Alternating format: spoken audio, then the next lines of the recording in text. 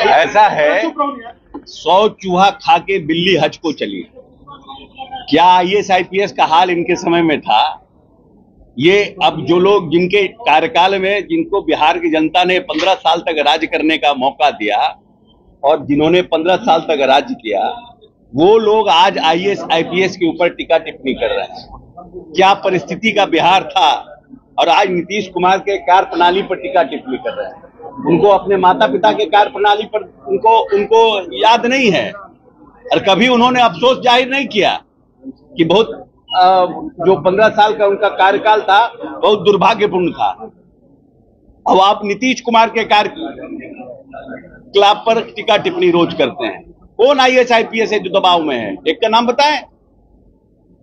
एक का भी नाम बताए ना, कि कौन I S I P S दबाव में है, कौन IPS I S I P S परेशान है।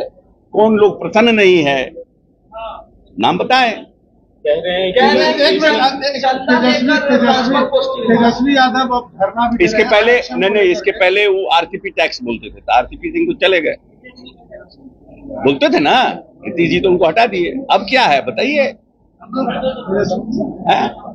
बताइएगा ना कोई ऐसे राह चलते नेता प्रतिपक्ष हैं। और नेता प्रतिपक्ष की कुछ गरिमा होती है। उस गरिमा का पालन करें। राह चलते जो कार्यकर्ता काम करते हैं उस तरह का आरोप मत लगाएँ। अगर इनके पास कोई आरोप है तो पुख्ता आरोप लगाइए।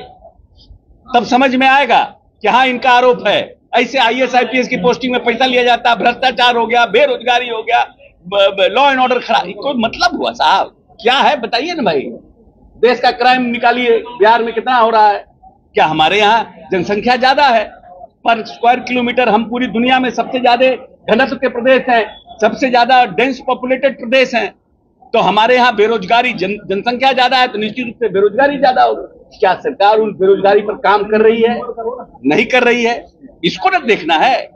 क्या सरकार अपने पाँच साल के कार्यकाल में नीतीश कुमार ने जो कमिटमेंट किया रोज़गार के लिए वो काम नीतीश कुमार कर रहे हैं नहीं कर रहे हैं उस पर ना बोलिएगा। उस पर तो आप बोलते नहीं है। ऐसे कुछ आरक्षण आरक्षण के मसले को लेकर धरना पर बैठने वाले हैं। धरना पर बैठे ना भाई तो कौन जातीय गणना पर कौन इनिशिएट किया? नीतीश जी के साथ क्या समर्थन से इनकी सरकार चल रही थी जब जातीय गणना का माननीय नेता ने निर्णय किया?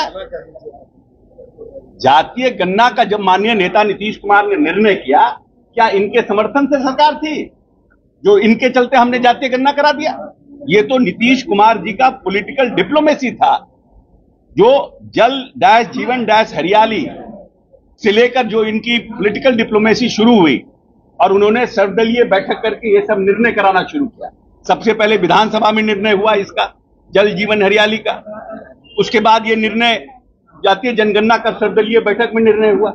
आप पार्ट में थे, आप गवर्नमेंट के निर्णय के साथ साथ होना और पार्ट होना, दोनों में फ़र्क है।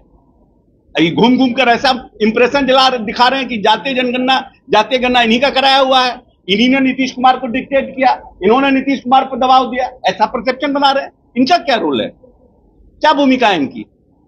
सरकार का निर्णय, मुख्यमंत्री का निर्णय, आप उनके साथ लटक में थे।